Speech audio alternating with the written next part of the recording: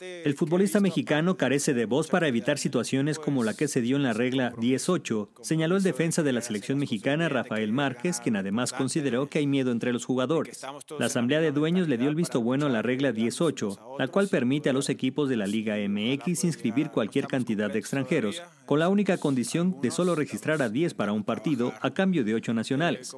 Márquez admitió que no hay voz ni voto para el jugador mexicano que hay miedo para el monopolio, situación que le resulta triste, pero es una realidad, y que por esa razón el fútbol está como está. Además, el deportista señaló que deberían tomar como ejemplo al Club Barcelona, que trabaja muy fuerte en fuerzas básicas y en algún momento fue base de la selección de España campeona del mundo.